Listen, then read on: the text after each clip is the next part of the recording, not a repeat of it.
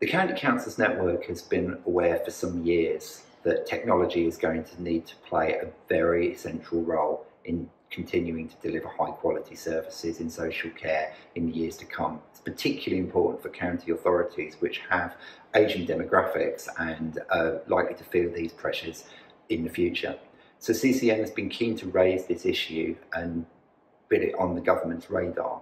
But we don't necessarily have the expertise, and that's why we're delighted to be working with Tunstall so that we can ally what we know about social care with an organisation that fully understands the landscape of the potential and innovation that exists out there for investing in digital technology. And Tunstall are delighted to be working with the CCN as well. And we ran a round table back in November 2020 looking at the importance of technology in supporting local authorities. But then thinking about the, uh, the government reform agenda for social care, in our findings, we looked at why it's important to use uh, technology uh, to support social care. And in this report, uh, titled Adopting the Right Technology to Transform Social Care, we're looking at taking that why and then applying it to the how. So, how do we take what we know and apply it in practice?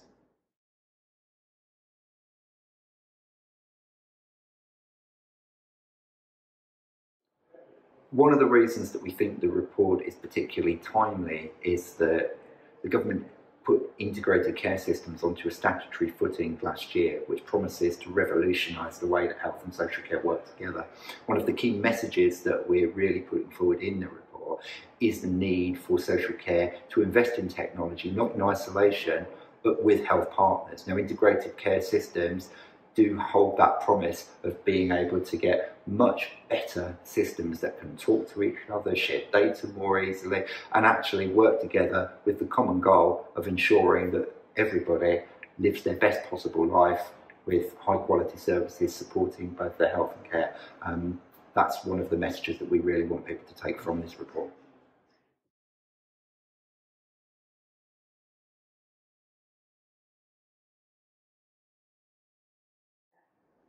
Well, I think the ultimate goal that we set out in the report is that we want technology to be delivering higher quality social care for citizens. And that could mean just investing in an app might make it so much easier for a family living with somebody with MS to be able to actually get out of the house for short periods of time without needing to employ respite care or to you know avoid some sort of home care visits. So from that point of view, you would hope that it will benefit the citizen, but it will also benefit the local authority in terms of what they actually have to lay out in terms of resourcing. But perhaps the thing that we're most excited about is how technology may be able to prevent those care needs in the first place.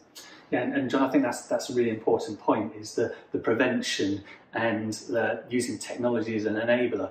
Uh, and I've often talked about uh, if you get it right for the citizen, then the system benefits as a result. And I think that's exactly uh, what needs to happen get, uh, uh, get the technology and the right technology in play, and both the citizen and the system benefit.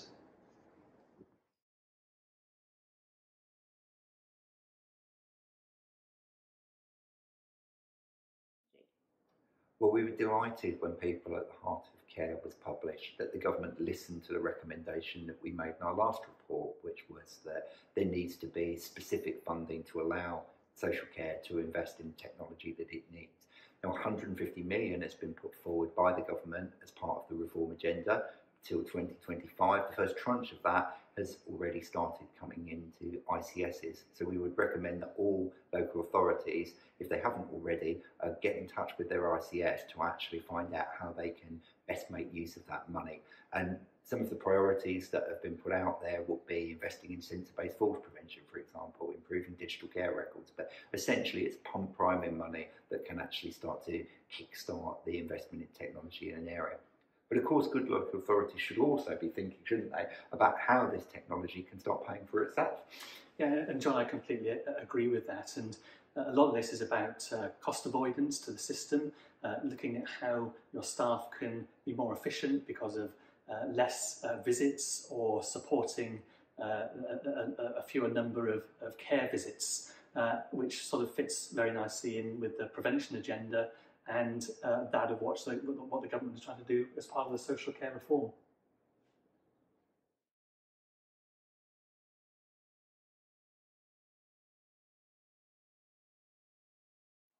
So I think that uh, you know, cultural change is, is really important and the uh, necessity to embed that uh, from the top. And in the report, we've looked at uh, using the SMART acronym, but phrased in a slightly different way. And what I mean by that is where S stands for simple, so define outcomes that are simple and easy to understand. Secondly, meaningful. Make sure that the workforce understands what is expected of them and is engaged in the change process. That things are agreed, so work collaboratively with the workforce, seeking agreement to embed the outcomes, and that cultural change will be more accepted. R stands for review, and what I mean by that is include system review and continuous improvement when you design the service in the beginning. Lastly, a T stands for test and retest. Don't be frightened to change, and if things don't work, fix them. Fail fast and fail quickly.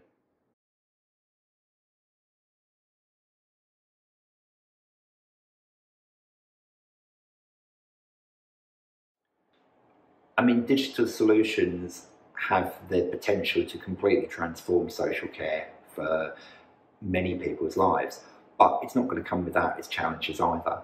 And one of the key challenges we know for our members is that broadband access and the infrastructure around digital technology can be quite patchy in certain areas. And that means that local authorities are going to have to be quite strategic about where they actually invest to get the, the maximum effect and impact that they can this stage, wouldn't you say? Yeah, I completely agree. I mean, it's, I think we need to look at uh, what solutions are in place uh, and thinking about sort of uh, um, local authority black spots, which there inevitably are, uh, making sure that the right solutions are in the right places at the right time to support uh, the uh, citizens in their local communities. So basically, make sure in those black spots, that's where you're maximising your staff's time to go there and actually using the technology in other parts where it may be more effective. I think that's absolutely right, John.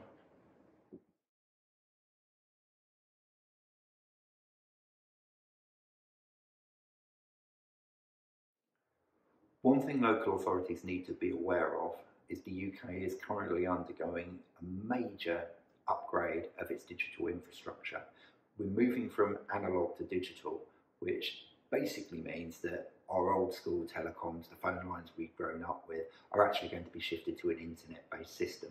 Now, actually, for users, this should be a seamless transition, and most those of us who use a landline might experience this, maybe noticing a slight change in the dialing tone, but there could be some more deeper implications for where older technology that's based on analog protocols is actually affected by the switch. And that obviously has a major impact on social care. Now, I understand that there are some safeguards that are being put in place. DCMS have actually thought about this, but local authorities need to be proactive nonetheless, yeah?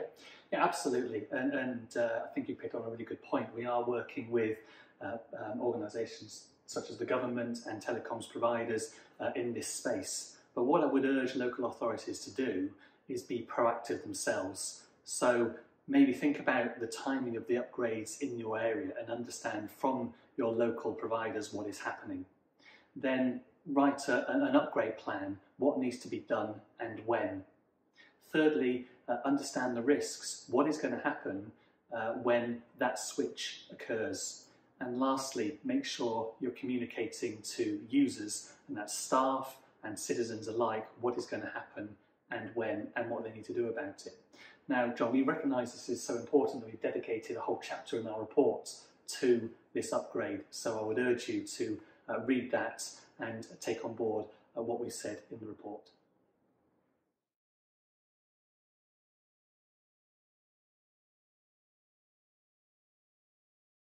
The stakeholders that uh, we refer to in the report start with citizens. Citizens are at the centre of everything we do, whether that's via technology, whether that's the local authority providing other services to them. If we get things right for the citizen, the system benefits as a result. But John, there's, there's other uh, stakeholders that we need to think about as well. Yeah, we identify a number of key stakeholders that should be kept informed at all stages within the report. One would be social care providers who deliver so much of the vital services around citizens. A second one would be your staff, the most vital resource, and you need to make sure that they're given adequate training and preparation for any introduction of new technology. A third one would be health. It's, we know it's so vital to get health and social care joined up, and your ICS should provide an excellent new vehicle for helping make sure that this communication is happening. In most local authorities, the voluntary and community sector plays a vital support for citizens around social care. to make sure that you keep them informed about any changes that you intend to bring in. And finally, the government has a really crucial role in terms of supporting local authorities and providing the right advice and support around, say, things like data sharing protocols. But local authorities should also be seeking to make sure that they are trying to feed back and feed into government what support they actually need so that they can actually provide it to you when you need it.